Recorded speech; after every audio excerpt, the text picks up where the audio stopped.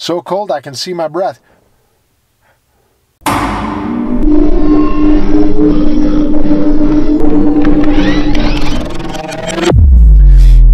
Welcome back to the Avalanche. Tonight I'm doing a test on my brand new antenna. I got a second one for another vehicle. It's the Tram 1180 2 meter 77 centimeter antenna. I'm going to compare it to my Larsen 2070 that was tuned for 4, uh, 440. It was a good antenna, but I wanted to see if I could get some better gain and better um, performance on the 2 meter band.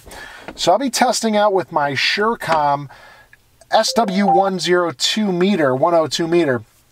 A lot of guys in the forums have been jumping on me for buying this, saying that it's cheap Chinese crap, and for 50 bucks I threw my money away. Um, what can I say? I, I, spent the 50 bucks. That's all I have now, so I'm going to use it as my benchmark, and hopefully it gets us a good ballpark. We'll jump on the 2 meter simplex. This was a little rough for me on the Larsen, so we'll try it here and see what we get. KC1BXX listening. Okay, cool. So we're getting a 1.00 SWR, 40, uh, 30.7 watts, so about 40 watts of outgoing power, zero return power. Um, if this is accurate, that's pretty good. That's perfect. I like to get that 50 watts that the radio says it broadcasts with, but we'll see what happens. I think it will give me that 50 watts on the um, 70 centimeter band. Here's 147.150 megahertz. KC1BXX listening. 1.02, 4 uh, 40.7 watts, another good SWR. Getting the repeater pretty good. There's another repeater at 147, KC1BXX testing.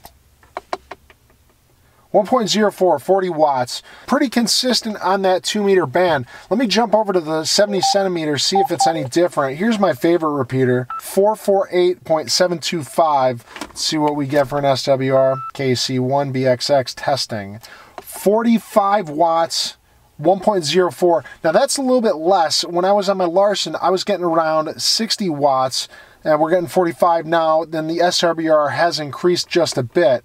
Yeah, don't know if you're looking for a confirmation, but um, AC2WT hears you um, loud and clear, full quieting. KC1BXX, uh, KC2WT, I believe was the last call sign. Alpha A, C2WT. Um, yes, just wanted to let you know that I was hearing you very well.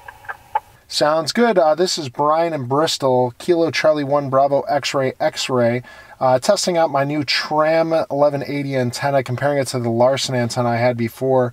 Uh, looks like I'm losing a little bit of wattage with this one, but uh, how am I coming in? Am I sounding pretty clear?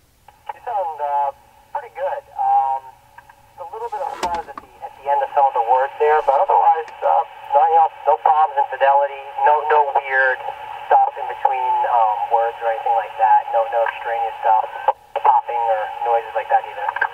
All right, great. Thank you for getting back to me. I'm just jumping around the frequency bands, seeing uh, what kind of performance I'll get around the other uh, higher and lower frequencies. So I'm going to leave it to you, but uh, thank you very much. 73 KC1BXX clear. Alright guys, so the Tram 1180 has been working really well. It's consistent across both bands in SWR and power output. Now I'm not getting my 50, um, 50 watts of advertised power that this radio says it can handle, and I have sacrificed a little bit on the 70 centimeter band when compared to my Larsen 270. However, the 2 meter band has jumped up substantially, and now I'm in that 40 watts plus, and it's very consistent. So I think I'm going to stick with this Tram for now, and we'll see what I'll do with the Larsen because it's not a bad antenna and I know it's going to be good for other projects. Otherwise, my next video I'm going to work on programming this and showing you guys how to use the RT Systems um, uh, computer programmer as well as doing everything manually. But for now, I'll leave you guys to 73 because I'm going to start hamming.